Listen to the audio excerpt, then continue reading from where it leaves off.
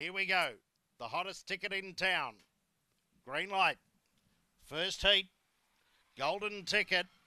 Blue Hornet box one. Professor Snitch box three. Away they go. They began as one.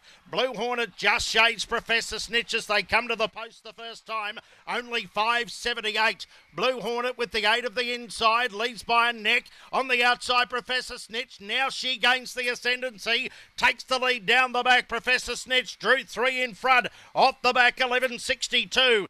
Professor Snitch. She's drawn five in front now of Blue Hornet, who's got no answer. And Professor Snitch comes down to win the first golden ticket by five lengths over Blue Hornet. Around 29 and 9 is the time.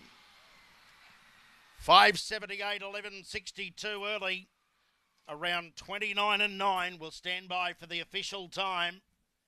And then we'll get the time for Blue Hornet as well. So around 29 and 9. Green light is on. Professor Snitch 29.94. Blue Hornet 30 and 33.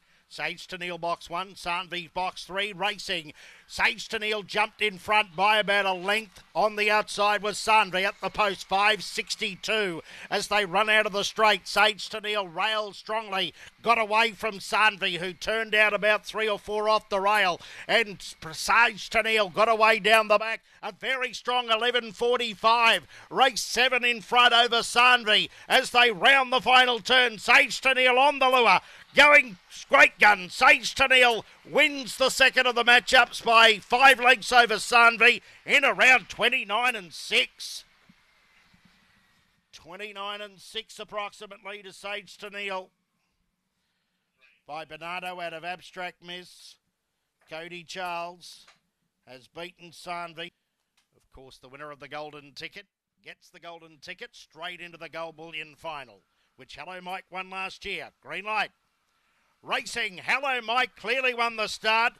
Oh, Mini stood there, missed it by about three or four at the post. 564 early. It's Hello Mike in front, going into the back straight. Leads by two and a half lengths on Oh Mini. She's steadily making ground. It's Hello Mike, the defending champion in the gold bullion. Off the back, 1163. Still has that length at a quarter break over Oh Mini coming around the home corner. It's Hello Mike in front, Oh Mini to the outside, but she won't pick up Hello Mike. And Hello Mike, two and a half on the line over Oh Mini in around around 29 at 8. 564, 1163. Around 29 at 8. We'll put him in second spot. At this stage, coming into the final match race between J is J and King of Aces. So it's Hello Mike by Fernando J box one.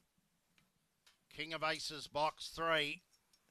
There is the light set for the fourth and final matchup.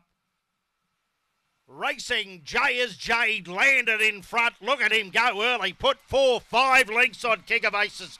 551 early. He hugs that rail out of the straight. This is where he lets go.